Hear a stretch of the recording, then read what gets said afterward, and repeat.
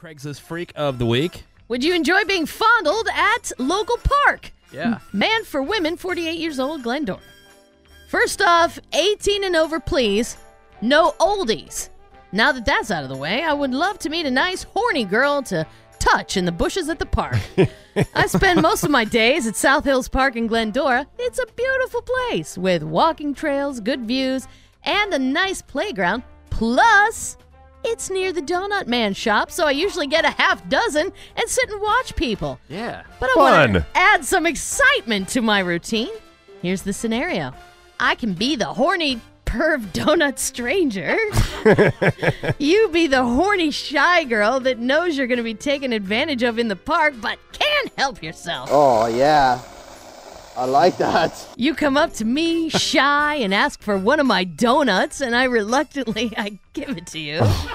then you go into the bushes and eat it. Then, after waiting a while, making sure nobody's watching, I follow you into the bushes. I stick another donut around my member, and you eat it. then we have sex. I will not use a condom.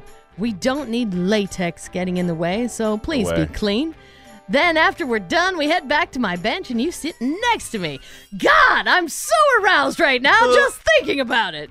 I'm 48, super clean and discreet. All I ask is that you are the same.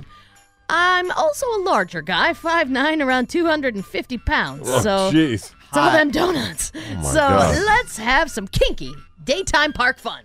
All right, there's uh, nominee number three.